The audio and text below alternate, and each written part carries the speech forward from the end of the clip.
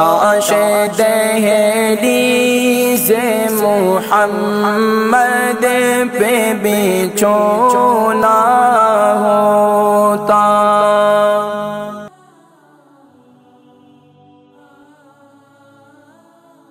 Points ये हैं कि नादरी कराम चिया सीड या आप तो मलंगा, इसे आप इस्तेमाल करें। अगर वेट लूज के लिए इस्तेमाल करना चाहते हैं तो इसे लेमन वाटर के अंदर इस्तेमाल करें।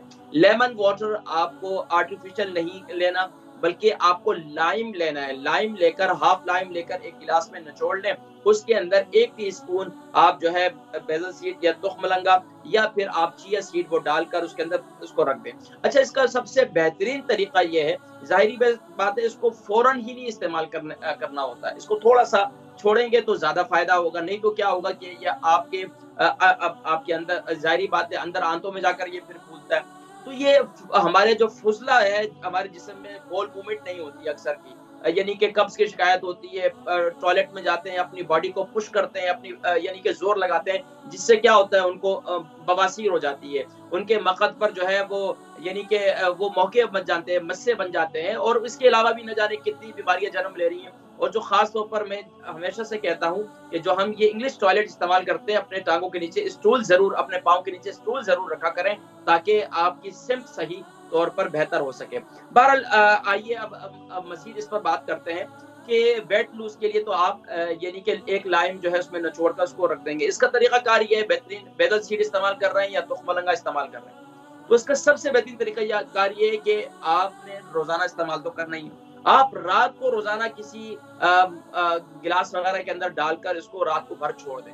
सुबह उसमें से एक टेबल स्पून ले लें, दो टेबल स्पून ले लें, दो टेबल तैयार हो जाएगा तो फिर आप उसमें दो टेबल स्पून कम से कम आपको लेना चाहिए। एक गिलास पानी के अंदर दो टेबल स्पून डालकर, यानी गाढ़ा गाढ़ा थिक थिक होगा। उसको उसके अंदर फेंट कर, उसको पी लें। अच्छा अगर आप मिसाल के तौर पर आपको कब्ज की शिकायत रहती है और कब्ज की शिकायत खत्म नहीं हो रही है, हमेशा आपके जिसम में जो है ना जब भी टॉयलेट जाते हैं, अपनी बॉडी को बहुत ज़्यादा पुश करना पड़ता है, जिससे जो है आपको ये बेहतरीन है। इसका तरीकाकार ये कि फिर रात को सोने से पहले आप नीम गर्म दूध के अंदर एक एक टेबल स्पून जो है, वो चिया सीड डाल दें, उसको खूब अच्छी तरीके से हिलाएँ और पका भी सकते हैं। थोड़ी देर में इसको उतार लें, इसको ठंडा करके इसको पी लें। बेहतरीन है।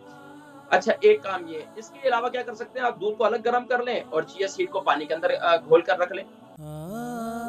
अलबरका ट्रस्ट का मंशूर। आओ, गम समेटें, खुशियाँ बांटें। अलबरका वेलफेयर ट्रस्ट इंटरनेशनल ने पैदाइश की खुशी से लेकर मौत की गमी तक इंसानी जरूरियात को मद्देनजर रखते हुए यतीमों, बेवाओं, बेसहारों, जरूरतमंदों और सफ़ेद पोशों की मदद को इबादत समझते हुए इस अजीम फरीजे को सरंजाम दे रही है। सिंध और बलूचिस्तान में अलबरका ट्रस्ट आपकी जक़ात, अतियात और सदक़ात की बदौलत इन्हें तनहा नहीं छोड़ता और इनकी जरूरियात को पूरा करने की हर मुमकिन कोशिश की जाती है। महाना door to door food packs की फरहमी के साथ साथ रमज़ान मुबारक में हज़ारों मुस्तकिन के लिए स्पेशल फ़ूड पैक्स सहर अफ्तार का एहतमाम किया जाता है आप भी अपनी जक़ात अलबरका ट्रस्ट को दीजिए रबता कीजिए zero one two one double six double seven three double nine जिस तरह हम, आपने देखा होगा सागू दाना वगैरह जो बनाया जाता है, उसका इस्तेमाल जब माओ को तो पता है सागू दाना किस तरीके से बनाते हैं। तो ये जो है फाइबर इसके अंदर अच्छी मकदार होती है जिससे हमारा बोल मूवमेंट और कब्ज की शिकायत जो है, अल्हम्दुलिल्लाह, काफ़ी हद तक कंट्रोल हो जाता है। अच्छा इसके अलावा हम जो है ये जैसे आजकल मौसम गर्म गर्म हो गया यूके के अंदर। चंद दिन माशाल्लाह एंजॉय करें खूब लेकिन कोशिश करें अपने आप को ज़्यादा गर्मी से बचाएँ अपनी स्किन को बर्न होने से बचाएँ।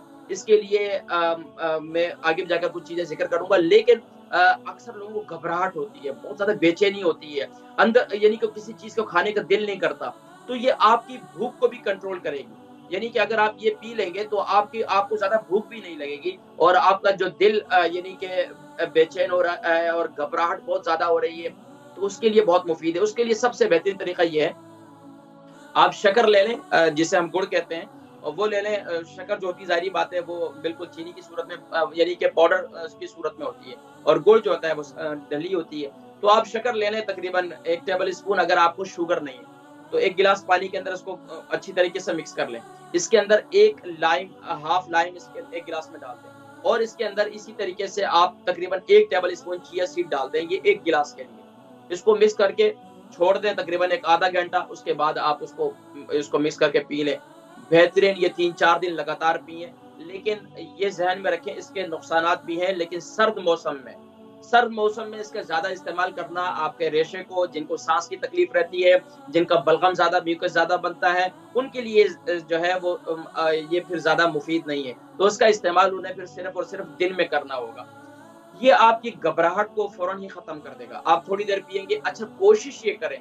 हम लोग ये समझते हैं, जैसे मैंने प्रोग्राम का इंट्रो में शुरू में ज़िक्र किया, कि हम लोग ये समझते हैं, फ्रीजर के आइटम या फ्रिज के आइटम ठंडे ठंडे इस्तेमाल करने से गर्मी का ज़ोर टूटता है। हरगिज नहीं। उससे हम अपने आप को हार्ट यानी कि हार्ट अटैक की तरफ़ लेके जाते हैं। हमारा जिसम गर्म है, बाहर से आए, फटाफट और हमने ठंडे ठंडे पानी के अंदर इस्तेमाल इसको इस्तेमाल किया। तो ठंडे पानी के अंदर इस्तेमाल नहीं करना रूम टेम्परेचर वाले पानी के अंदर आपने इसका इस्तेमाल करना है तो आपको तमानियत और आपको सुकून मिलेगा। और यहाँ तक के, कि आप थोड़ी देर के बाद आपको इतना सुकून मिलेगा कि आप इंशाल्लाह दुआएँ देंगे।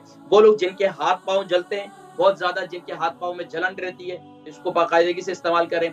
अच्छा वो लोग जिनको मैदे का अल्सर है, वो लोग जिनको मैदे का अल्सर है, वो अक्सर शिकायत करते हैं, खाना हसम यानी कि खाने उनको जो भी खाते हैं, बेचारों दर्द हो जाता है तो उनके लिए भी बहुत मुफीद है। उसका तरीकाकार ये कि खाने से तकरीबन आधा घंटा पहले आप जो है ये चिया सीड का पानी के अंदर घोल कर उसको इस्तेमाल कर लें, बेहतरीन। अच्छा वो लोग जिनको आईबीएस की बीमारी है, यानी कि ये जो जिनको जो है ना फ़ौरन खा, खाना खाते हैं फ़ौरन टॉयलेट चले जाते हैं।